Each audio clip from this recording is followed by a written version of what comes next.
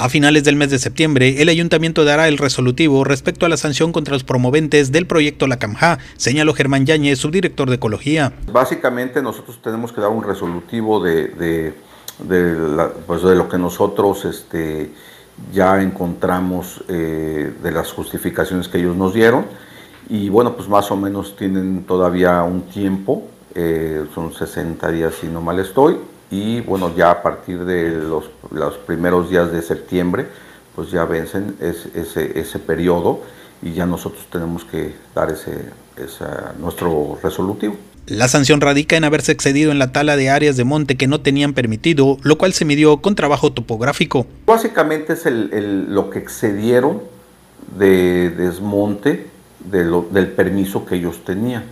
Eh, y bueno, son extensiones este, pues que, se, que, se, que se localizan precisamente a través de un trabajo topográfico eh, muy preciso, con dos centímetros de diferencia, o sea, es básicamente nada, y con, ese, con esa diferencia nosotros podemos ver este, pues cuál es la extensión que se excedió muy puntual y muy precisa. Por usos y costumbres siempre se usa GPS y otro tipo de mediciones eh, con cintas, pero al final siempre hay una, una imprecisión en esos datos y a veces hay variaciones considerables. En este caso lo que necesitábamos era saber con certeza y, muy preciso eh, cuánto fue esa extensión que se, que se desmontó. No se trató de tala lineal, sino más bien de zonas de monte diversas cuyas superficies fueron sumadas.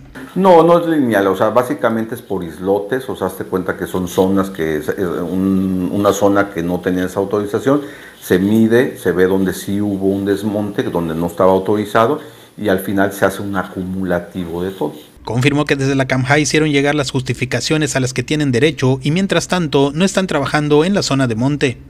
Ellos ya las presentaron y nosotros estamos precisamente viendo, revisando y, pues con base en eso sacamos nuestro resolutivo. En la zona de selva no, en la zona de selva está en este momento clausurado.